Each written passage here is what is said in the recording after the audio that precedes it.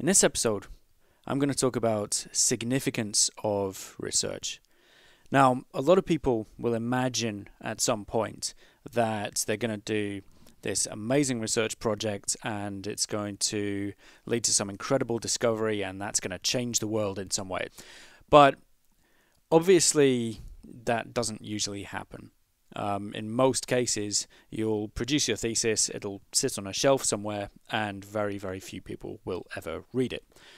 Now, this can seem a little bit depressing. Um, why is it that you spend so much time working away with everything that you've got to produce this document, which maybe four or five people will ever, ever actually attempt to read? Um, and if you start thinking that way, then the whole thing can seem kind of futile. Um, you know, if nobody's going to read it, what is the point? Now, I think part of the problem here comes from thinking of a PhD as your ultimate contribution to the body of knowledge. And this is really not the case. Because if you become a professional academic researcher, then the PhD is not the culmination of your career, it's the starting point.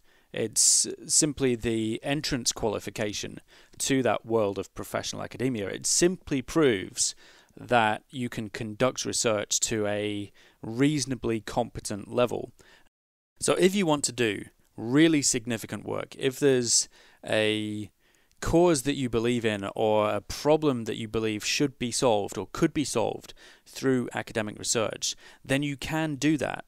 But the PhD thesis is not necessarily the time or the place where you will achieve that, that ultimate goal.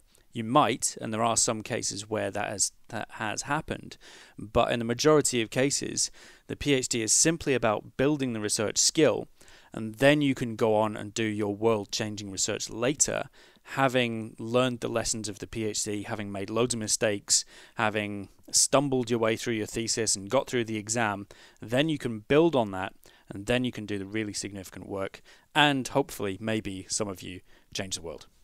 But you have to be patient and build the skill first.